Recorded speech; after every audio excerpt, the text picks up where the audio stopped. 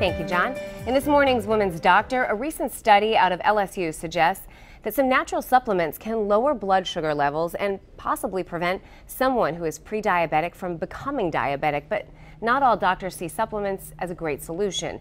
Mercy Medical Center doctor Sapni Saluja says pre-diabetic and diabetic patients should be wary of studies that say blood sugar can be lowered with natural remedies alone. Studies have shown that they may or may not be effective. We don't have a lot of clinical data um, to prescribe it. That's why they're over the counter. Um, but it always works in conjunction with your dietary and lifestyle changes.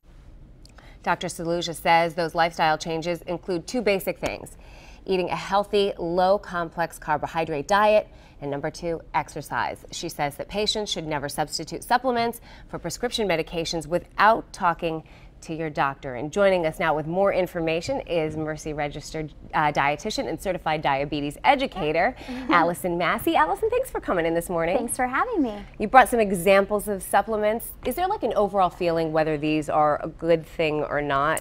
I think we just don't know enough. Um, and the studies are so variable, as Dr. Saluja mentioned. So, you know, what we do know is there's three simple, effective things to help lower blood sugar levels. Okay. One is get moving. I know we've heard this a time and time again, but physical activity 30 minutes, five days a week, it really helps in terms of lowering blood glucose levels. And you really don't have to go out and, you know, do push-ups. You're talking about going for like walking, walk. yeah, yeah, walking stuff that's very, very simple. Just, you know, gardening this time of year, if people are interested in that, do something you enjoy. That's the key. Okay, what are the other two? The other two, if you need to lose weight, um, small amounts of weight loss make a huge difference in terms of lowering that hemoglobin A1C level. So usually I tell people shoot for 7 to 10% of your baseline weight. So for someone that's 200 pounds, you know, you're looking at maybe a goal of 20 pounds.